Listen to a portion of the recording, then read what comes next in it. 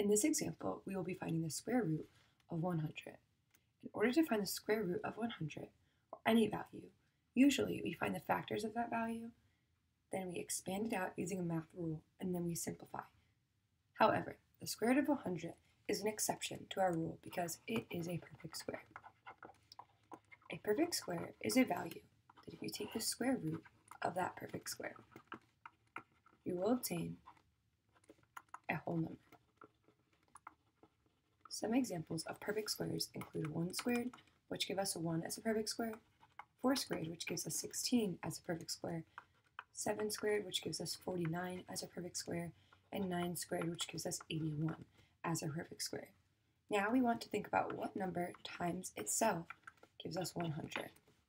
The answer to this will be 10 times 10. If we multiply 10 times 10, we can see we use 0 times 0 giving us 0, 1 times 0 giving us 0, a 0 as a placeholder, 1 times 0 giving us 0, and lastly 1 times 1 giving us 1 for a final answer of 100. As shown, we can see that 10 times 10 gives us 100. Therefore, 10 squared equals 100. And then the square root of 100 would then be 10. So very simply, the square root of 100 is just 10. There's no estimation required and no further simplification.